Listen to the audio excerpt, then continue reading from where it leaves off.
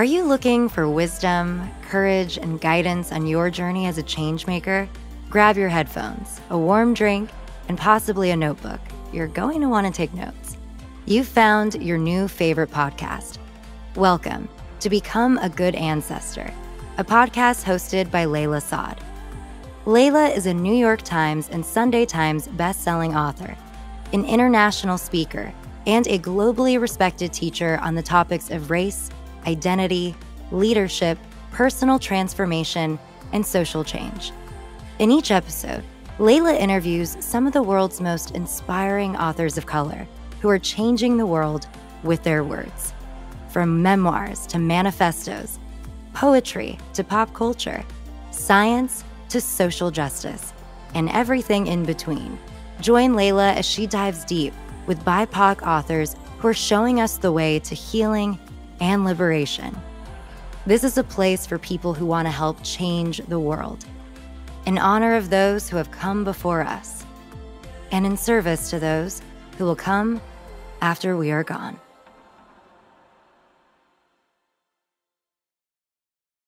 Hello and welcome. Thank you for joining us. My name is Reema Zaman. I am the author of the memoir I Am Yours and the forthcoming novel Paramita, A Dystopian Matriarchy. And I have also the honor of being the book club facilitator for Become a Good Ancestor.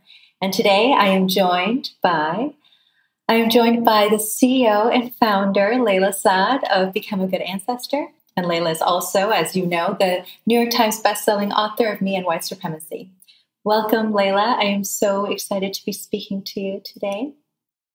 Thank you. I'm so excited that we're doing this. This is an exciting thing. You know, I've been podcasting since 2015, but this is the first time that I'm ever doing a live experience. Um, and it's been a while since I've been interviewed on the podcast itself.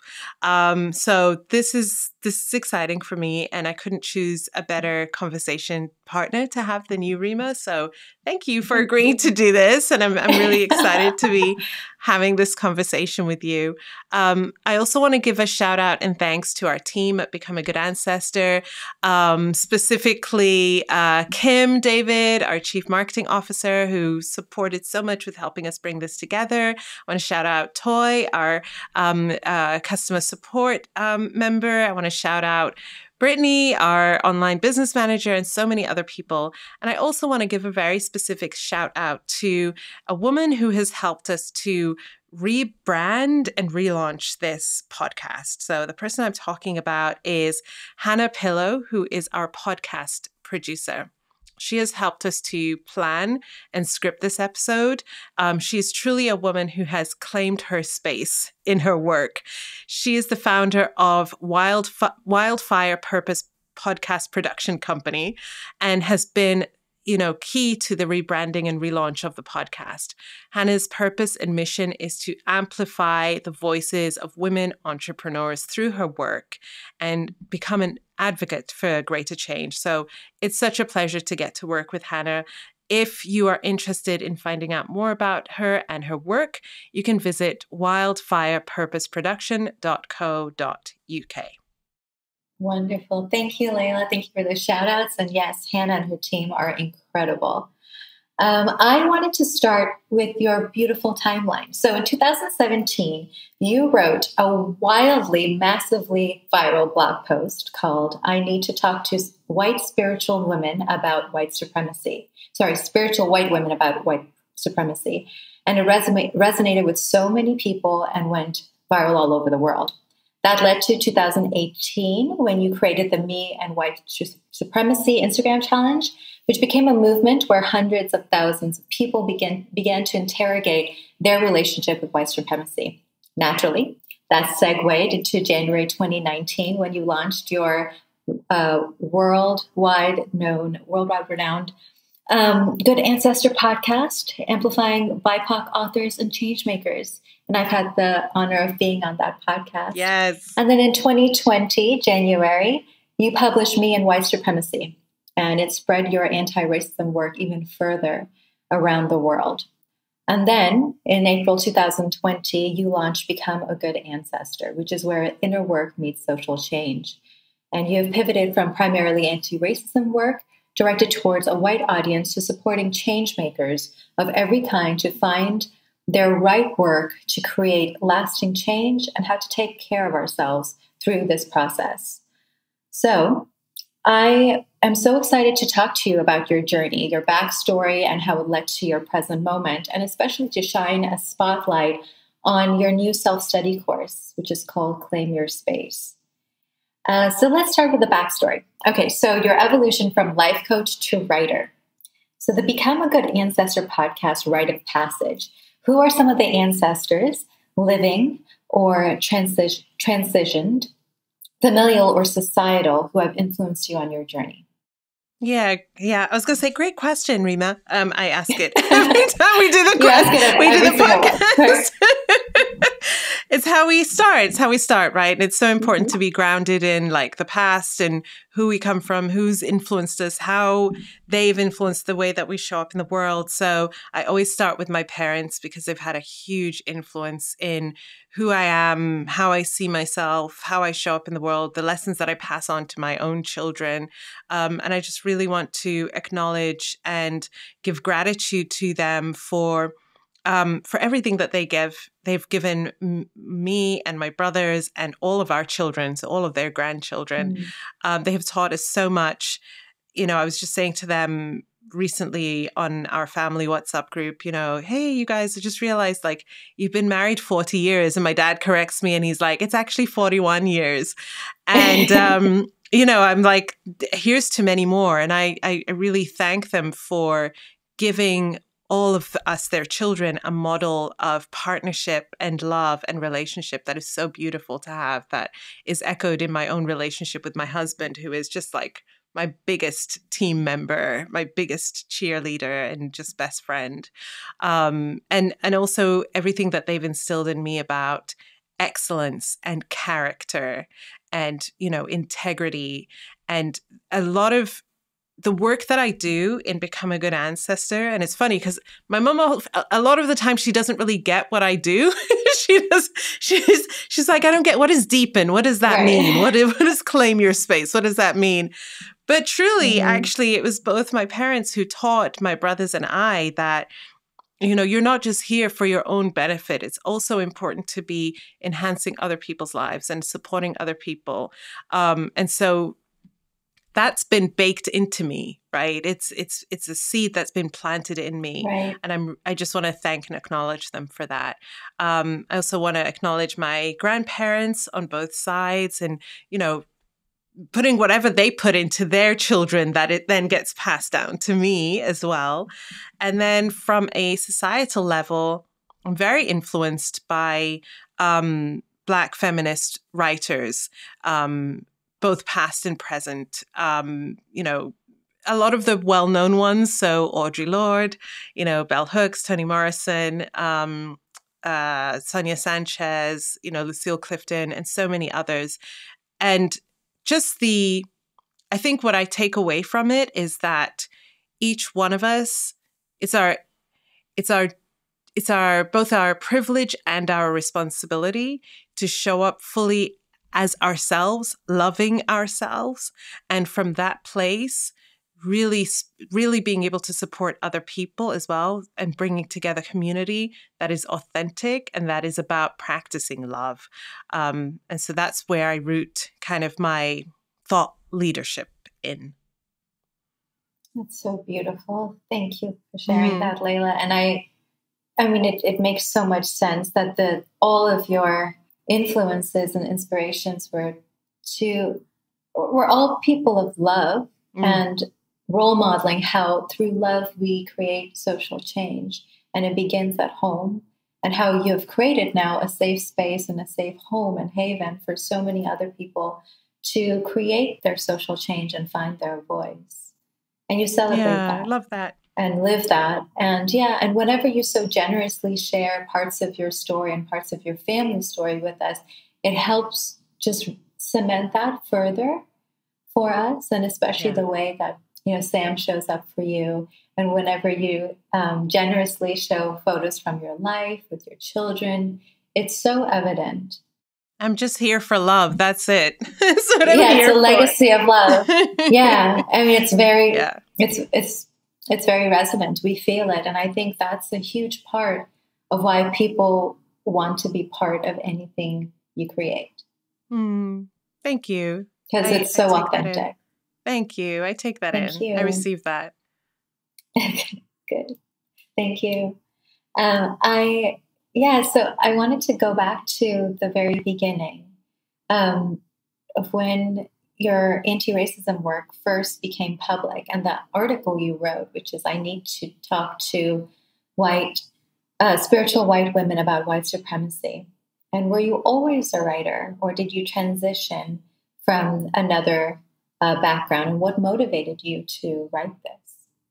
I think I was always a writer, like in in my heart, in the way that I feel like being a writer for me is my God given gift, as opposed to something that I trained in or have an academic background in. It was just who I am, but it took me a really long time to recognize it, accept it, own it. Um, you know, I talked about my husband, you know, he was the first person in my life that was like, I think this is what you're here to do. I think you're here to write. And I was like, no, I'm here to be a life coach. That's what I'm here to do. And, you know, years later, I'm like, you were right. Right.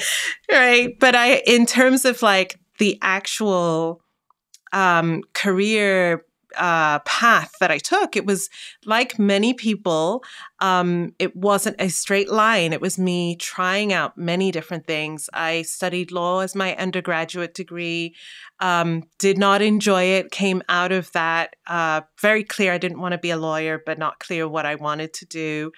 Quite by chance, ended up working in corporate tax and did that for five years felt like this is something I could do in the same way that you could do, um, I don't know, just anything where you're like, yeah, sure, I can learn the skills of how to do this, but my heart isn't in it in any way.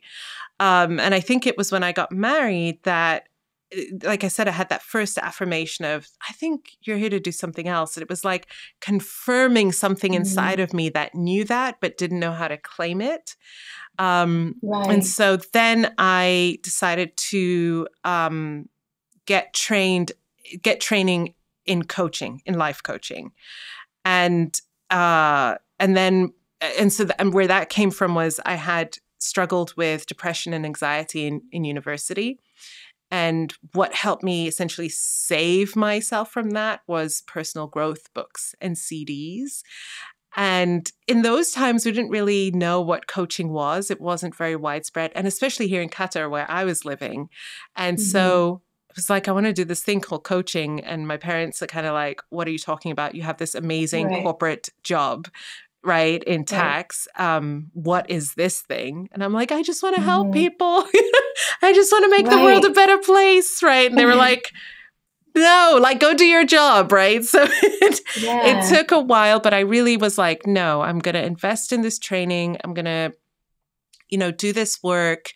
I also was very interested in learning how to get good at public speaking. So I started investing time and energy into that and slowly ended up transitioning myself out of corporate tax into um, into kind of part-time one-on-one coaching very early on I, it didn't sustain for long because i was i just didn't have resources and support but the job that i ended up moving into was corporate soft skills training. So leading trainings workshops in companies on things like interpersonal skills and time management and things like that.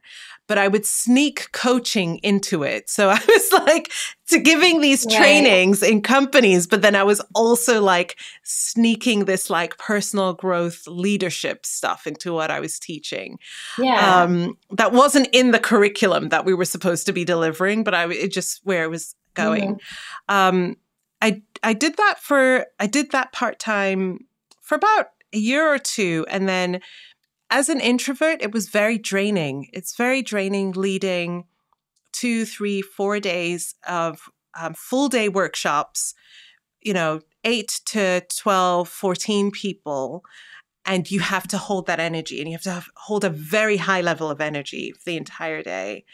And i essentially just ended up burning out like it just it wasn't sustainable for me um, and before i knew how to pull myself out my body pulled me out because it just shut down one day. And so um, i stopped doing that and then i tried to find other things to do and ended up working in i ended up studying health coaching because I was receiving health coaching and I was interested to yeah. learn about that. And I did some work around that. And then I ended up in what was my last job ever, which was working at a nonprofit in their marketing department. And I ended up leading that department um, just before I left. So I ended up becoming the marketing manager there. And in all of these different things that I was trying, I was just I was trying to find like what's my thing because I can't seem to find satisfaction in anything that I'm doing. It would feel interesting for a while and then I just would flop and feel like this isn't the thing. And then one day at this job, that was my last job, it was like I went into work and I had this moment of like floating outside of my body and looking down at myself and thinking, this isn't it. And you know what it is, which is that you're here to have an impact in a big way. And you're almost 30 and you haven't even gotten started on that path yet. And if you don't do something about it now, you're going to be 40 and you're going to be in great regret. Um, so, very soon after that, I think a few months after that, um, I quit and embarked on this journey of uh, being a solopreneur, being self employed. I started life coaching, supporting women entrepreneurs who were trying to build purposeful, meaningful, values aligned businesses. And um, that was great. I really loved it. But essentially, what ended up happening was my writing ended up like somehow going viral. So I would write things right. that I felt strongly about, and then it would go viral. And I would be like, mm-hmm oh, I think this is actually more what I'm supposed to be doing. you know, right. and and what I found, you know, is that actually what I'm here for, it's not even so much about like the vehicle. Like it's not so much about is it writing or is it coaching or is it speaking. It's more about what is the overall umbrella of what I'm here to do. And that I believe is healing work. And I yes. believe, you know, where I am now is that I have this best selling book, I have this podcast, I do speaking engagements. And of course, I have this beautiful business and we have courses that are here um, that we're sharing with people. And all of it is about healing, is about liberation. And whatever I continue to do for the rest of my life, whether if it's I decide, you know what, I want to become a mindfulness teacher or I want to like, you know, do whatever it is, like whatever path I go down, whatever next modality I choose to get training in, my work will always be about healing. That that's what I'm here to do. That's beautiful. Thank you. I can see the clear thread, the narrative through line through it too. We can always see it looking back, but when you're right, yeah, when you're in it, you're like, I don't know what I'm doing. But when you look back, you're like, right. oh, right. Yeah, and and that you know you you struggled with anxiety and depression in college, and that led you to self empowerment books and self healing books, and then of course you know it's it's interesting. It's almost like you you you have so many talents and skills that could have very well given you a, a you know a a satisfying career elsewhere, but it, yeah. you kept on being called to purpose, and the ultimate purpose being that you are going to use all of these skills, whether it's marketing or leadership or running a business, all in service of healing and liberation and restoration. So it all makes sense. Absolutely. You found this beautiful alignment. And, and again, I hear that that's all of the things you just touched upon is also the things that you offer in the self study courses, whether it's deepen or claim your space. So it just makes you are, you are, it's like you workshopped all of those things on your own, on your own, on your own self. And then you fine tuned and perfected everything and are now offering these things to everyone else. Because what I do know is that the thing, you know, it's um, that beautiful quote uh, from Casey Lehman, which is um, we are the second person feeling this pain. We are always the second person mm. feeling our pain, something like that. Yeah. And, you know, um, mm. to know that you have had service in one other person's life is to know that you've lived a life worth living. That's the accumulation of why we're even here.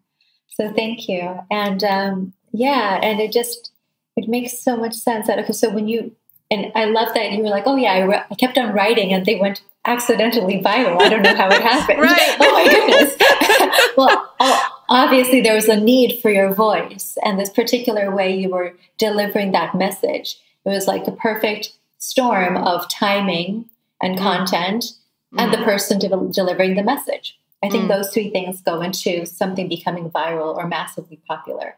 And Absolutely. I've seen that in your in your posts, on your Instagram posts, in your challenge, the Instagram challenge, and certainly in your amazing book.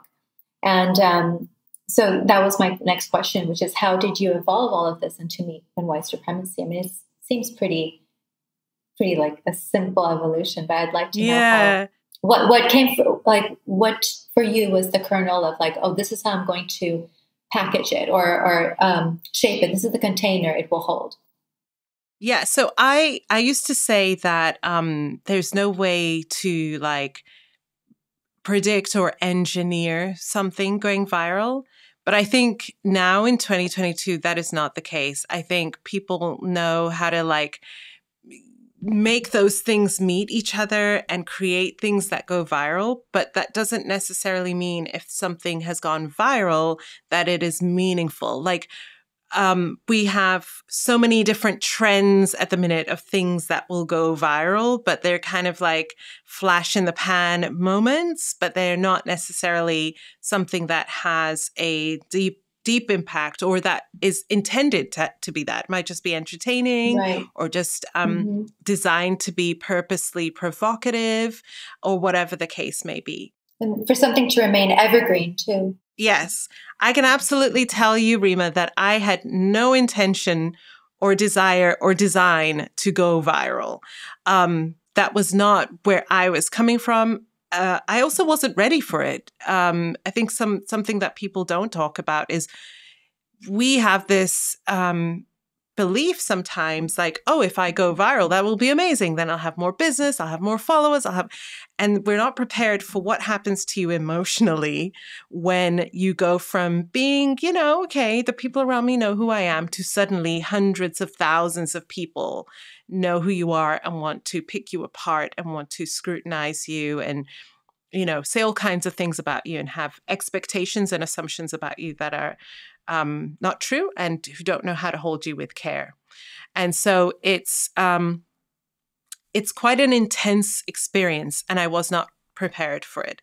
And so I have never tried to do that, and I wouldn't want to either because it just right. it's a lot. It's just a lot. But the thing about me and white supremacy that still amazes me is that I didn't I I didn't do it it was done through me. Mm. You know, it it was a thing that was done through me because you know I've shared my um, experience with you, and nowhere in that experience did I say, "Oh yes," and then I I got a master's in like you know decolonization and you know critical race theory, or I went and did this course about you know white supremacy culture or whatever. The, that was not my background, right? It never has been. I never want to claim it. I'm not a historian. I don't have that background. I had my own experiences and I had my own thoughts and feelings that I felt very strongly about that I wanted to share. So that's how we got the viral article. Um, from the viral article came all of this attention. And then I observed, and I observed what I was seeing, and I observed over time that people would become more comfortable with these conversations around race and white supremacy. And then I had my curiosity of, okay, what shifted? Like, what have they learned about themselves and white supremacy? And I believe that those things, when they come to you, of like, oh, that's interesting, or a curious moment, when we choose to like follow that thread and see where it leads, very miraculous things can happen.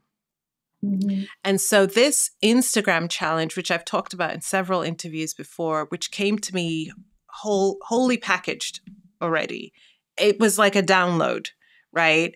Where it was like, I want to share this post about asking people what they've learned about themselves and white supremacy. And then, oh, okay, what do I mean by white supremacy? Let me break down some of the terms. And then deciding, okay, maybe this isn't one post, maybe it's a series of posts. Hey, I know, let me share it over the course of a month. We can start tomorrow. It, and that happens within the space of an hour or so. Amazing. At 2 a.m. at night, the night before we begin the challenge, right? Like I I I truly believe that there are moments in time when something will come to us and we have a choice on whether we choose to go on that like um what do they call it in the hero's journey the call to adventure the call mm-hmm, the call right? to adventure mm-hmm. Mm-hmm. we hear the call and then we can decide, hey, yeah, I want to go on this adventure, or no, I don't. And there was just something yeah. inside of me that was like, keep pulling on this thread. This is this is important.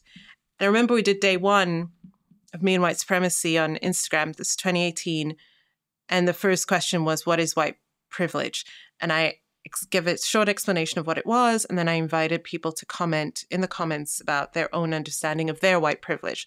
And as as soon as I started seeing the comments of what people were writing, I was like, oh, oh, wow. Uh, I think I may have just tried to eat an elephant. Like I've just taken on a humongous task, and I don't think I have recognized how big this thing is. And That's in that m- in that moment, I I the, part of me was like, you don't have to do this. You know, you can you can decide that you don't have to do this. And then there was another part of me that said, something very important is happening here. You need to pay attention. And you don't have to know everything of what's going to happen next, but it's very important that you show up faithfully to this work um, and, and, and steward it. You need to steward this moment. And so, my one job that I have felt throughout my journey with me and white supremacy, whether it was the Instagram challenge, the workbook, which went viral, and then the published book, even the Young Readers edition, right, and the journals, at every stage, all I have thought is, this is coming through me. This is not me. I'm not doing this. This is being done through me. And my only job is to allow myself to be used for this work right? Uh, that's that's my one job that i'm this is the assignment that i've been called into. And at no point was i like oh i'm being forced to do it or mm. this is something that i don't have say or agency in. It yeah. felt more like I'll use the terms that I use because I, you know, I believe in God. So that's the languaging that I would use is I felt God was like, this is something that I'm calling you to do. You don't have to do it if you don't want to. But if you want to, let's go. Right. And and so I did. And I did. And what has been really fantastic about this whole thing, Reema, is also knowing when the assignment was done right? And I knew the assignment was done last year, 2021. Towards the end of 2020. So the Young Readers Edition came out last year. I finished that, published it. We did the whole promo for that. And I was like, there's nothing more that I need to do with this work. I have completed the assignment. I have done everything that was asked of me to the best of my ability with all the love and care I could in the world and it's complete. And that's such a good feeling to know as well. That's incredible. It's incredible. Yeah. So you you are the container and the challenge. The container and the cha- the channel of the challenge. Yes. And um and you, we got we get to experience that through you. Yeah, and it's, you know, it's, I'm done with the assignment, but the work is not done in the world. And I know that it will continue to, because it's not me doing it, it will continue to have whatever impact it's supposed to have out in the world with whoever it's supposed to meet right? And i'll certainly i'll certainly you know I, I, also think it's very important not to say well i'm done with that so i never want to think about it again. Never want to speak about it. No that's my baby. Like that's that's something I poured years of my life into. and it will always be a part of who I am. But f- there's a difference between there's a difference between not abandoning our journey and not abandoning a body of work that we've built versus trying to continue doing it because you feel like you should. Right. Right. Right. Beyond the point of like when you should, and you're just like, no, but I, I can't leave it because I have to keep going. And I was like, when I start doing that, no, everything gets scrambled inside of me. like I can't yeah. do this. Yeah. Complete. And you've you answered the call and mm-hmm. you brought it to fruition. And yes. it's what you're talking about. You're you're using the same languaging of you're talking about a relationship. Yeah. You had a relationship with this body of work you brought it to fruition, and now it lives on in the world as this, as this evergreen message and uh, workbook. You know, you created a workbook, you created a step by step journey for people to follow. And that is, like you said, like you did everything you were told, you were asked to do. And now it lives on in the hands of other people as they go through the journey. Yes. It's really beautiful. And so that naturally, once you, and I'm fascinated by not only did you know that this was the work, you knew its completion, and you didn't hold on to it from any kind of scarcity mindset or the fear yes, of not having it. something else to go on to. Yeah, that's what it that's is. It. It's you because you had such faith in the work, you also had faith in the moment when you knew it was complete. Absolutely. Faith is exactly the right the, the, right word. Faith is the mm-hmm. right word um, because I'm very much a faith led person and leader. And that's how I that's how I show up. So I recognize eh, for me, my my my beliefs are that it's important for us to show up for the work.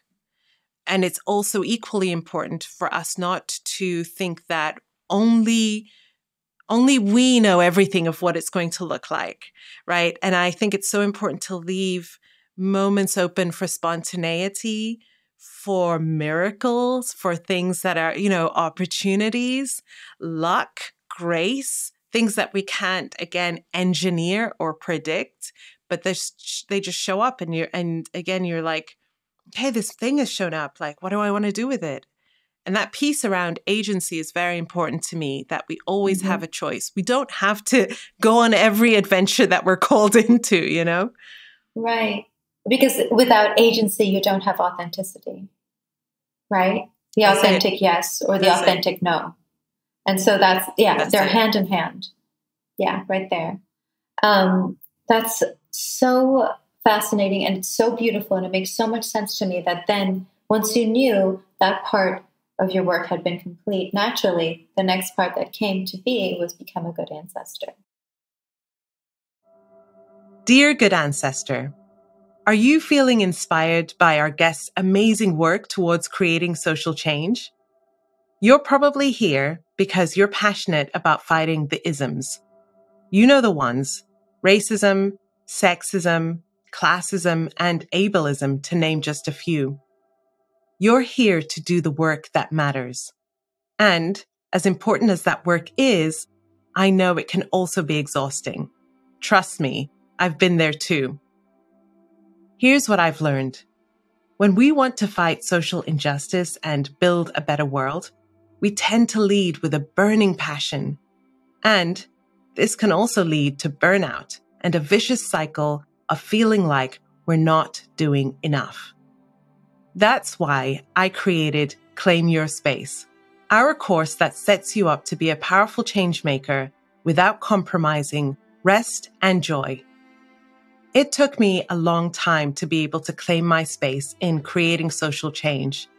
And I want to support you in claiming your own space and help you do the work in a way that is right for you.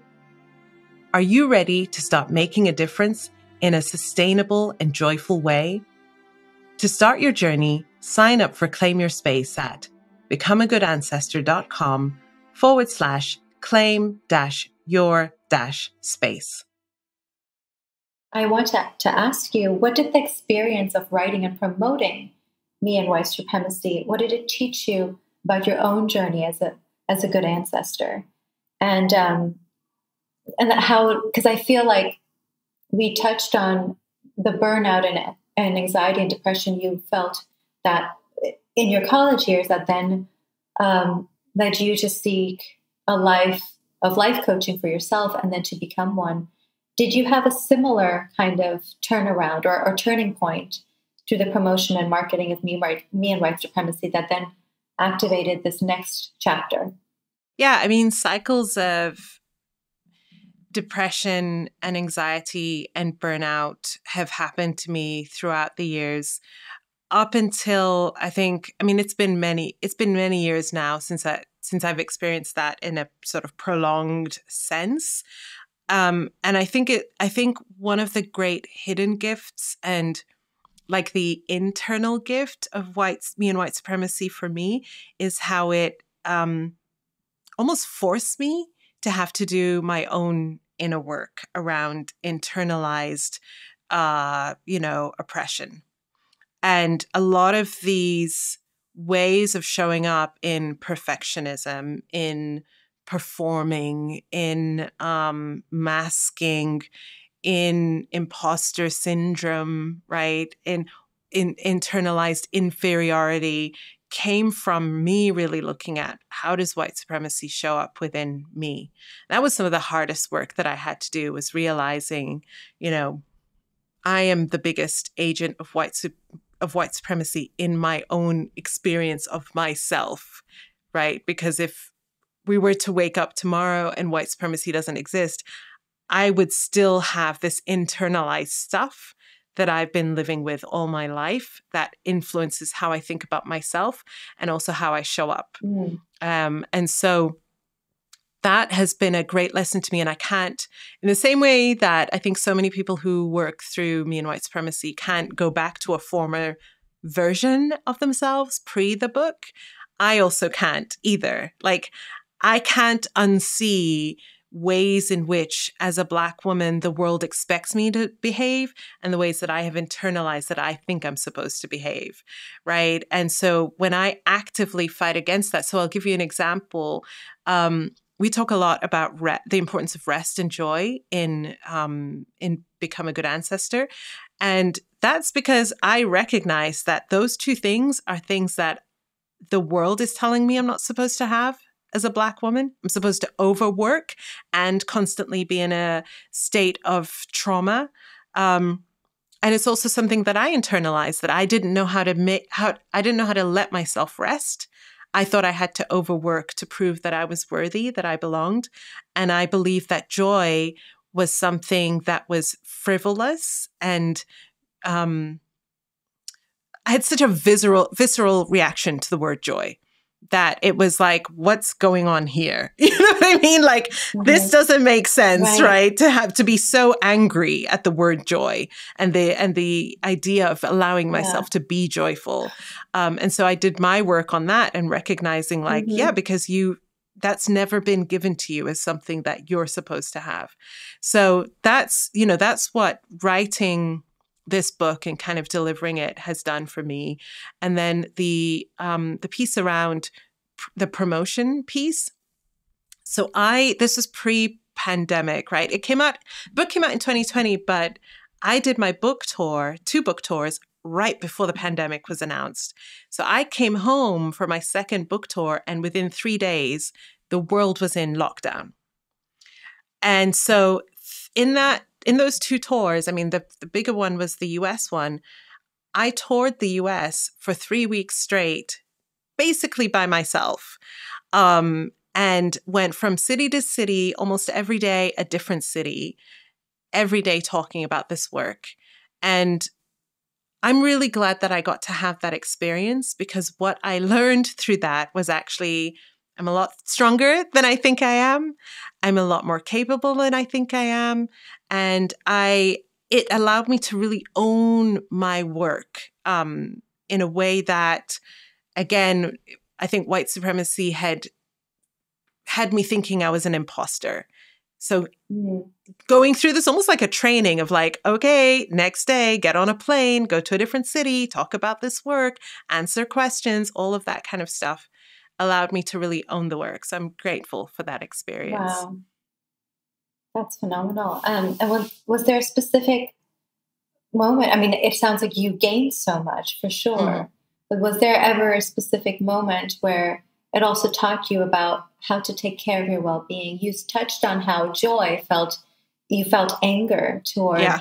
that that word. Um, and what was the turning point? And another thing I thought of while you were talking is like not only as a black woman have you been given the message that you're not allowed to rest or not allowed to seek or accept joy, but then also being such a publicly known, world renowned public figure, that that spotlight of scrutiny and hyperanalysis that not only do you have to be perfect as a black woman, but then mm-hmm. as a public figure. Yeah. And so it's like having that multiplied on a whole other level. So, yeah. what did that teach you about? Because I, I can hear how, you know, this work you're doing now to help change makers rest and restore ourselves. There's such a through line in there. Yeah. Because I believe you learned a lot in that journey as you were promoting and marketing mm. um, me and white supremacy. How what did that teach you about well being, rest, mm. joy, and then your next offerings? Yeah. So I shared a post recently on um, Instagram where I talked about this idea of like embracing the soft life and I was saying that I'm all for that because I, in fact, I feel like year upon year, I'm becoming softer inside. Like something is happening in me where I'm softening. But I also really recognize that I'm very strong. And that's really important as well. And so holding the both and of I am so I am a soft woman and I'm also a strong woman and both things exist at the same time and I've learned sometimes softness is what is called for and sometimes strength is what is called for right and yeah. so i say that to say yes i gained a lot from you know both externally and internally writing and promoting and sharing this book but i also lost a lot right? Like the experience i don't want to like romanticize this in any way. Being a black woman writing a book on racism is is a it's a practice in reliving trauma, your own trauma and also collective trauma, historical trauma, present day trauma. And that's also part of the reason why I knew the assignment was done because I knew if I continued to do this kind of work in this way, I would be living with trauma as an as a as a normalized part of my life right? And, you know, I can't speak for anyone else who does anti racism work. I can only speak for myself. That is not something that I wanted. I wanted something more for myself than that. Um, and I really credit the support that I received through mentorship and therapy, teaching me to really expand the vision of what was possible for me and what I could have. Mm. And Beautiful. so, yeah, you know, and we can't, we, we're not here to do everything alone. And sometimes yeah. when we're in it, we need someone who is outside of it to give us mm-hmm. perspective mm-hmm. of what being in it is doing to us. Right? right? And and so that's why it's very important for me to do this work to support change makers because we give so much of ourselves. We're so passionate about the cause and the call, the work. We know it's important. It is. And we can sacrifice ourselves to, beyond the point of what is good for us if we're not careful.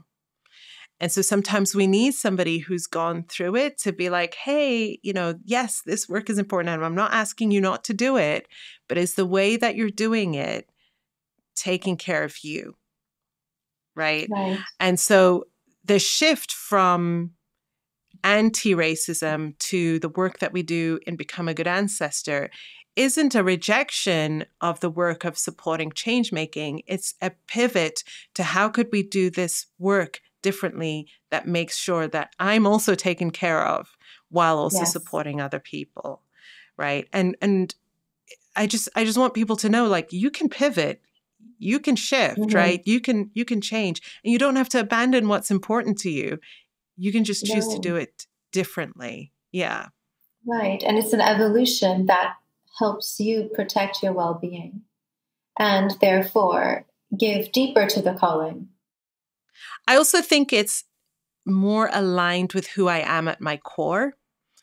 Mm. I am at my core an optimistic, idealistic, visionary dreamer. I am very strong, but I am not a I'm not a fighter. Mm. Right? I I'm not a I am not a um I'm not a destroyer right? And right. I don't use that word it, in a disparaging way. I think these systems and these um, paradigms need to be destroyed. So we need destroyers, right? And I, and I know that um, me and white supremacy has helped incredibly with that.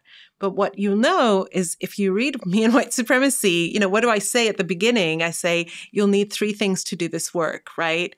And they they funnily enough they follow the acronym of TLC, right? Yeah. And so mm-hmm. you need you need truth, you need love, and you need commitment. And so my work has mm-hmm. always been wrapped up in that love, healing energy. Yes. And so that's who I am at the core. And so it it feels very good to return to the essence of who I am so that as I'm leading this work, I no longer feel like this is something where um, God is like, hey, I want you to go on this journey, just be the channel for it, right? I actually feel right. like it's more like, I want to co create, I want to create this thing, God, help me to do it. This is coming from the, my essence now. Mm. Please support me in this work. Um, so it feels it feels very different. That's beautiful because what I hear is that everything you learned in your journey of bringing me and white supremacy into the world, from the Instagram challenge to the viral post, the viral post, the Instagram challenge, and then the writing of the book and the promotion of the book.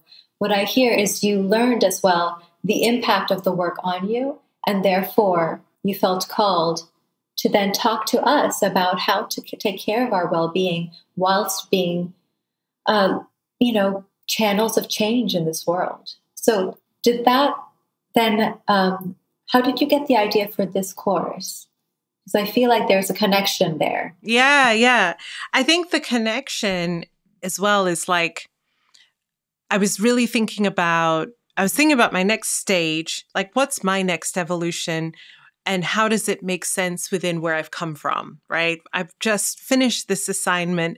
I'm not in a place anymore where I'm like, I have no idea who I am. Let me go study cooking or something. It was like, no, this is this is the work that I'm here to do and how can I steward this next stage?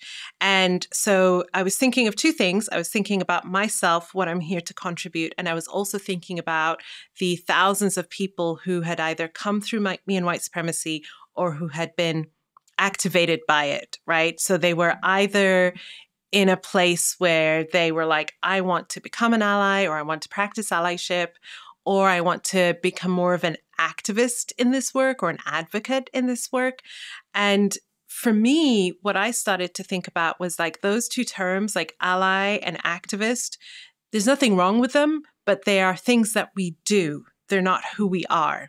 Yeah. Right? We are either an ally for a specific group, a marginalized group, or we are an activist for a specific social justice cause. But what I wanted people to do is actually think about who they are. And I started to use this term change makers because that's not something you do. That's who you are. That's a, that's that calling again. And it makes me feel all of these like passionate, excited feelings inside. And I wanted to connect with that within myself. And I wanted to connect with other people who, when they hear that word, they think, either that is me or that's who I want to be in the world. And so um, the business of become a good ancestor and the course the courses we have created is how can we support people who are change seekers who want to become change makers and who are change makers who want to become sustainable change makers. Mm-hmm. And so mm-hmm. for supporting those kind of two groups of people, we have created two offerings. The first is our self study uh, course that's called Claim Your Space. And this is a program, this is our level one program. This is for people who are change seekers. They want to become change makers. They hear that term, it means something to them, but they actually feel like, but I don't really know, like, what is the change that I'm here to make? You know, uh, I know I'm passionate about a lot of causes. I know many things are important. I even know that there are various skills and strengths that I have, but I'm not really focused. And I wanted to help people have focus because distraction is a huge part of how systems of oppression function. If we can be distracted by nonstop horrific traumatic events that are happening in the news, then we don't know how to um, continuously build a body of work and a legacy of work that is going to have meaningful change. We don't know how to be strategic and coordinate with each other and in community to do this work.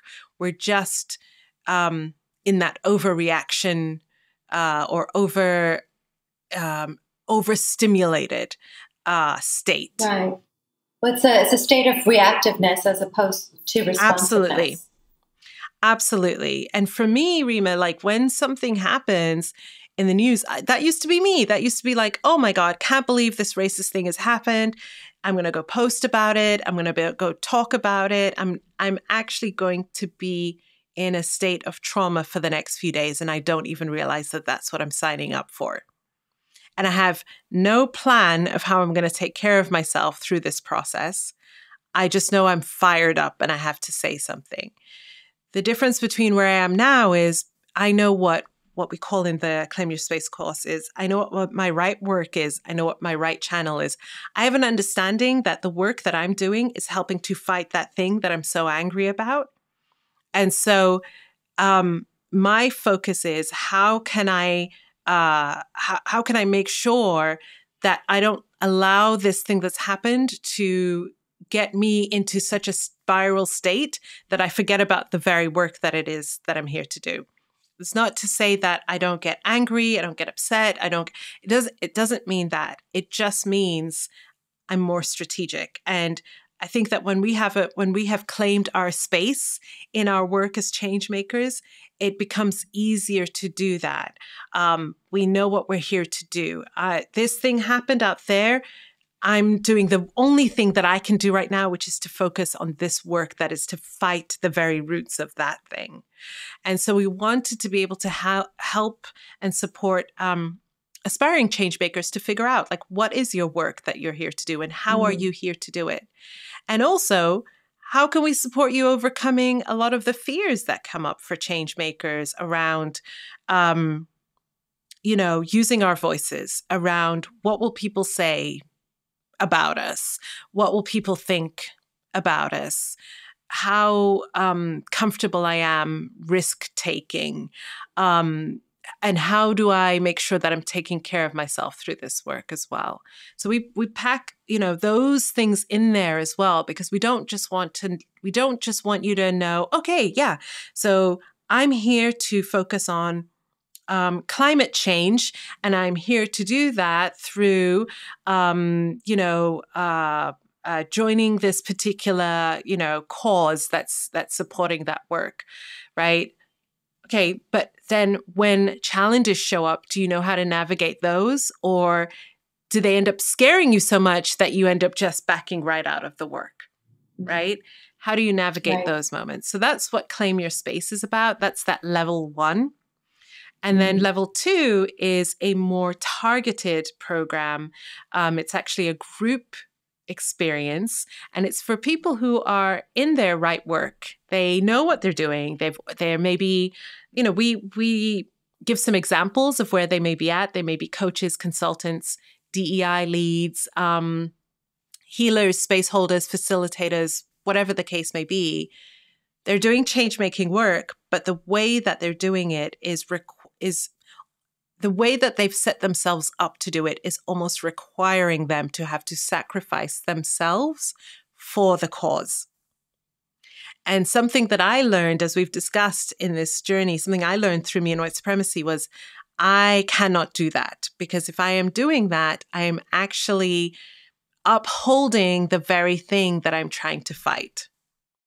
Completely. And you're going against the very roots of this, which is to be a good ancestor of the legacy of love instilled yes. in you by the ancestors transitioned and live, living. Your Absolutely. parents beginning with that. Right. Absolutely. And so I, what I love is everything you've talked about is it's a relationship with this calling. And how do we make this a sustainable relationship? That's right. That's right.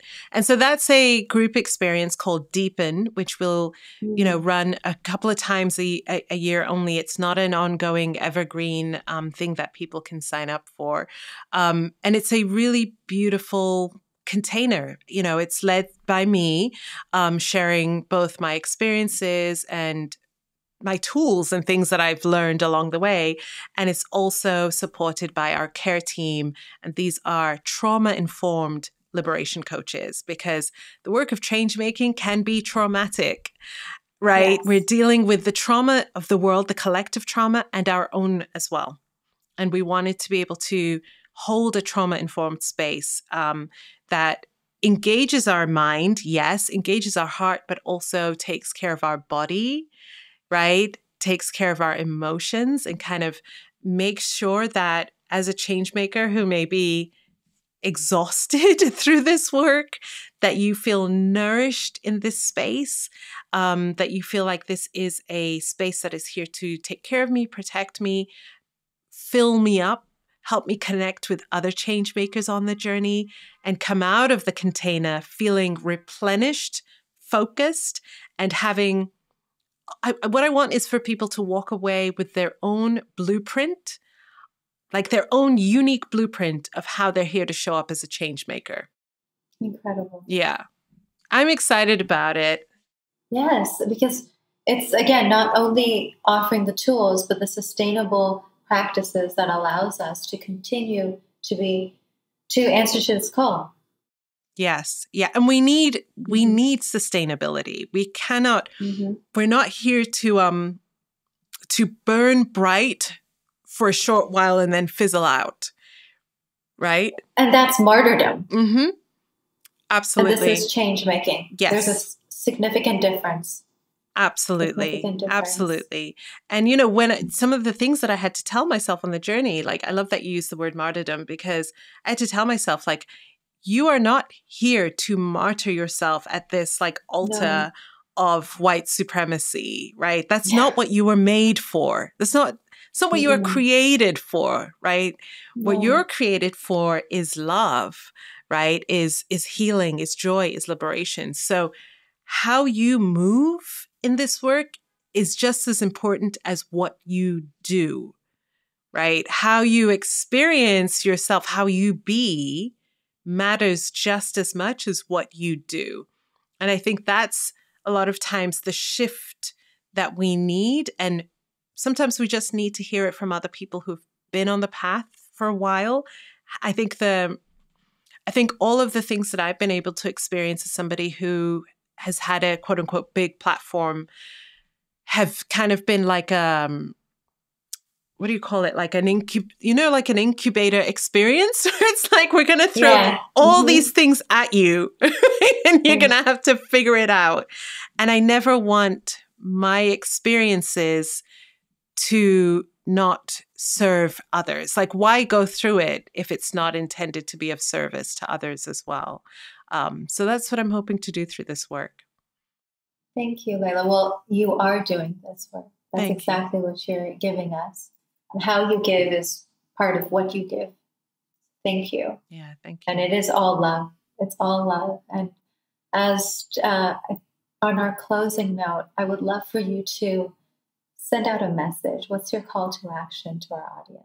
Yeah. I can't, I can't think of a more special thing. I love that because I'm like, like yeah, seeing myself. I'm yes. seeing myself like on a hill with like a torch, and I'm like, calling all the change makers. You know? Yes, exactly. Anybody who hears that term and goes, that's me, something jumps in your heart mm-hmm. and says, me, me, me, I'm here to do that. Like, I want to call out to those people and say, let's go on this journey together right and mm. and the mm. first place that i want to invite people into is our program claim your space because i truly mm. believe mm we have to know what it is that we're here to do and how it is that we are here to do it.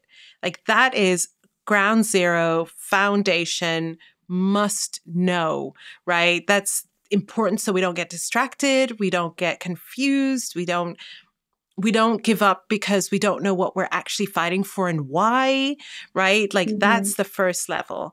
And um I I think that the more we are activated in that understanding of like this is my space, I have claimed my space. The the the um the greater uh, longevity that we have, right? And the more focus that we have as good ancestors.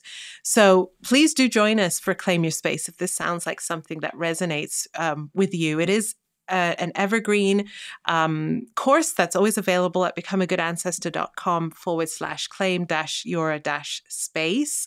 And I think it is something that will help so many people lay the groundwork for the legacy that they are here to create.